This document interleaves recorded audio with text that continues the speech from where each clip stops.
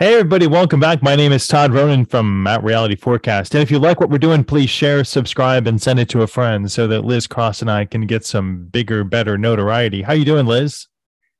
Uh, great. Thank you. I have never seen or heard of these pictures or this. Let's this- call this part one of our cryptid investigation. So, cryptids are an entity that may or may not exist in zoo- zoology. And this is a picture that has made the rains and the, or the rounds, and people are wondering if this picture held up by a couple of guys in the 1880s or 1890s. People can share in the comments below more about it.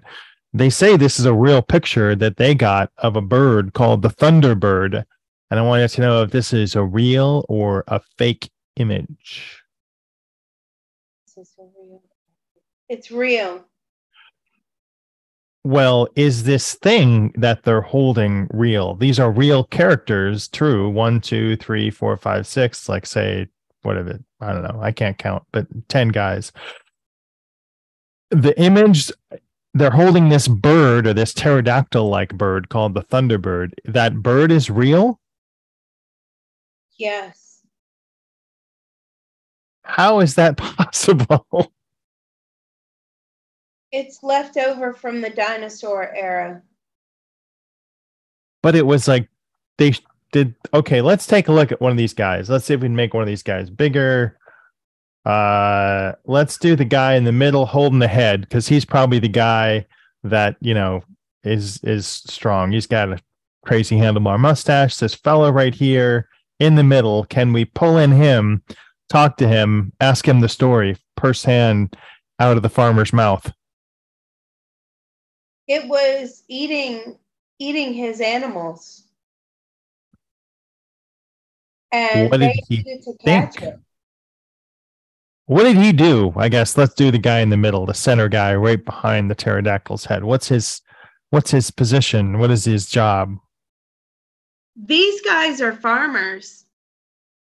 They're cattle farmers and uh, pig farmers and um chickens. They had a lot of different animals. I feel like, and I don't know anything about this picture, but I don't know why, like Oklahoma area is coming to me, sort of that area of the US. I feel like this thing was something that was eating their livestock. They would tell talk about it. There was a lot of disbelief, but then there was a lot of belief as well. They believed it was some sort of superstitious thing, it was a bad omen, it was a sign from God. And they finally trapped it. They followed its pattern. They laid down traps and they they actually trapped this this thing. I don't feel that it is dead in this picture. Those guys got some chutzpah. yeah. I mean, you know, it, it, they, I feel like it was. Um, I actually feel like they gave it a lot of alcohol in that picture, possibly like moonshine. They gave it something to subdue it, but they they trapped it, and they Did did. they kill it? go. No, no, they didn't kill it. They thought that killing it would be because they didn't know what this thing was, right? And again, that superstition of if I kill it, bad things are going to happen to me. Um, this was very scary to them. They weren't sure, It's scary to me. I'm sure of the picture. but it's it's true. Isn't that crazy? I'm saying, are there any more of these left on the planet? No. This was one of the only few remaining ones, and they they actually survived the dinosaur era. how did that happen? And was is this the last surviving member in this photo, or did it live another couple generations?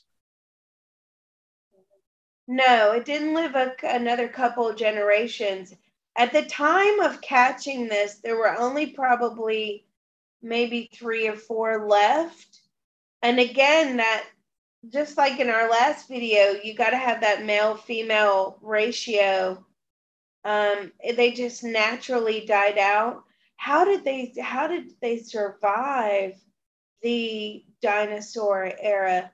Well, they managed to fly away from it. So things that could fly were able to survive for the most part as long as they were not exceptionally large, they could survive the dinosaur era. Now, over time, things evolved. Birds got obviously smaller, and uh, uh, he's telling me like modern day birds are left over from dinosaurs anyway. So, you know, if you were small enough or if you could fly, you you could survive the dinosaur era. Can you connect to this this pterosaur or pterodactyl and find out what it's thinking at the time? And I don't know, does it have a soul journey? Yes, it's now a human.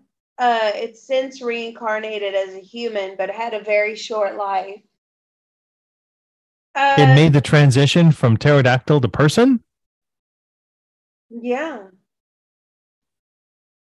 Yeah, we we've most of us have done that. Most of us have been uh, birds and fish, especially birds and fish, um, insects, trees.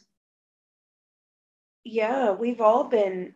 What is that meeting like on the other side? Does he go into the pterodactyl hall and then they say, Have we got a surprise for you?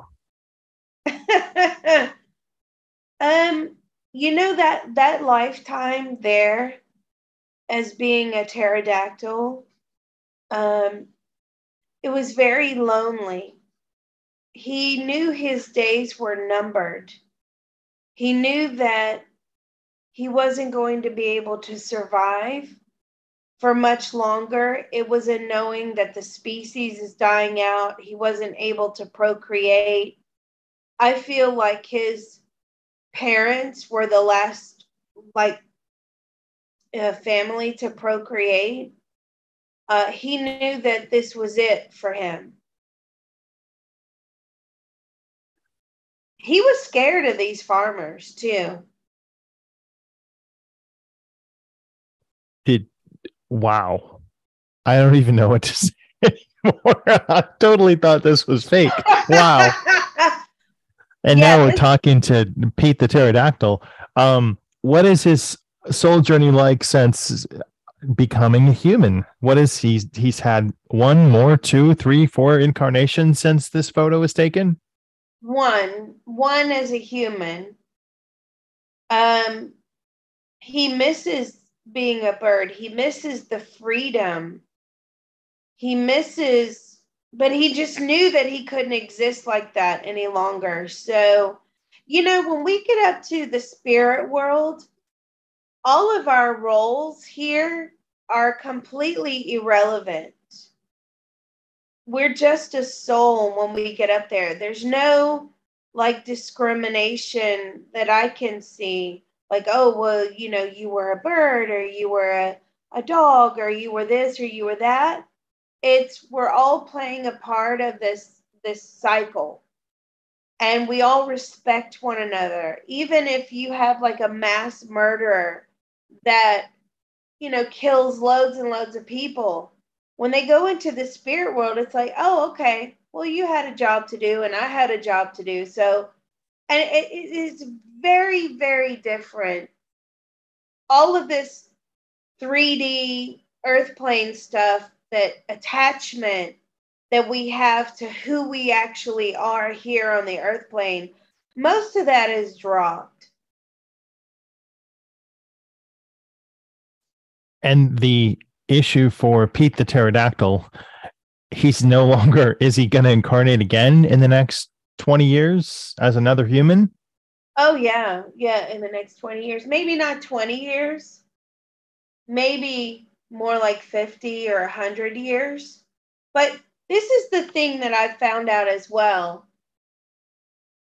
You know, we have time and space because of gravity. And you know that being a remote viewer, like all remote viewers know that. That's remote viewing 101. Up there in the spirit world, what takes a long time down here is nothing up there. So 50 years can be like that, right? Up there, because there's no time and space. But down here, 50 years, especially if it's a miserable lifetime, is is awful. You know, that's a long drawn out time. Especially people that are suffering illnesses or you know, poverty and things like that. I mean, 50 years can be it feels like 10 lifetimes. But up there, it's like, yeah, 50 years, whatever, whatever that means. It means nothing to them up there. How did he fly? Because he weighed so much. I mean, it looks like a pretty heavy bird. Did he just like swoop down with his hang glider wings? Um, really, from like a yes, like a, a gliding motion. Um, would only really expend the energy flapping its wings if necessary. These birds or pterodactyls, they lived up extremely high. So on cliff tops, the tops of really tall trees. Um, they were very clumsy with their landing as well. Landing was not easy, which is why the farmers were able to capture him. Well, I like the idea of capturing a giant, giant pterodactyl with moonshine. They they captured, you know, like um uh what is it like a bear claw trap or whatever? They they captured him that way because his landing was always so sloppy. It was almost like tuck and roll you know? A lot of times on the landing it was not graceful. Whereas you see you know most birds you can see them you know they just plunk down they they glide in and it's they slow down. That's all aerodynamics. They've got that down to a fine art. This thing, its downfall was the fact that it was a very sloppy landing. And so they trapped its foot because, you know, birds and animals and humans, we all like patterns, and patterns make us feel safe. And so they, they set a lot of traps for for him in this particular landing spot. And then in order to calm him or subdue him, they they poured like I think it is it's moonshine down its throat. They didn't want to kill it. They didn't really want to cause it a lot of damage. They were fascinated by it as well, even though it was eating their their livestock. Pete the Pterodactyl, thanks for your time today. And Liz, it's always amazing and mind expanding. Everybody, thanks for joining us. We'll see you again next time. Wow. You're just as shocked as I am about this one. it takes a